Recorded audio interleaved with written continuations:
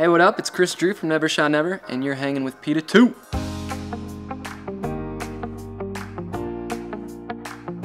Ever since I was a kid, my mom always called me Love Bug.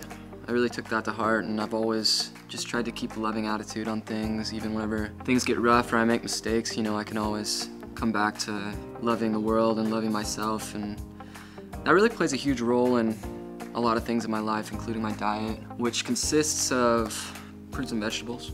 I've always loved berries. Strawberries, blueberries, blackberries, raspberries, Ushy raspberries. My mom used to make this blackberry cobbler when I was a kid. We used to go out to the blackberry bush and pick them off the bush and then take them home and my mom would uh, cook up this crazy cobbler.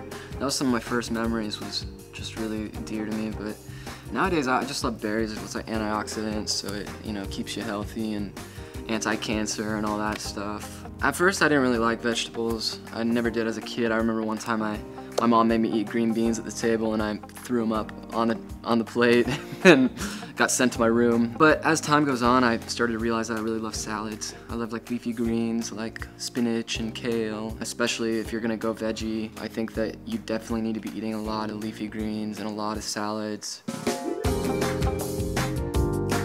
When I first went veggie, I didn't really realize the impact I was making and I didn't realize that really the karmic value of it, you know, because I'm a big believer in karma. You know, what you put out is what you're gonna get, and not eating a creature, I really believe there's a karmic value to it. And I, I believe that there's a soul in an animal. It might not be the same complexity as the human soul, but I believe that there is a soul interaction whenever you do ingest an animal. I think that coming from a place of love and compassion is really the way to go.